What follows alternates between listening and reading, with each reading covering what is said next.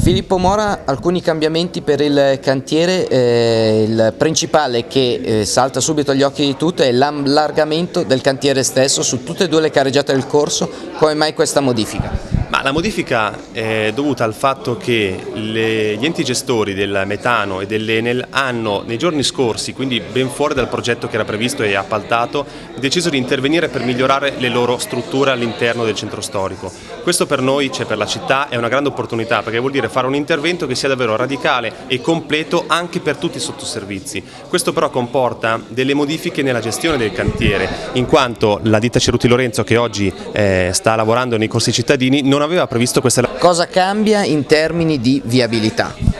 Ma eh, anche qui per dare un maggior eh, aiuto a quelle che sono le esigenze della città, i commercianti soprattutto, abbiamo quindi optato per eh, allargare quello che è il, il microcantiere in parti più ampie di cantiere per permettere alle imprese di poter lavorare più agevolmente e quindi più velocemente.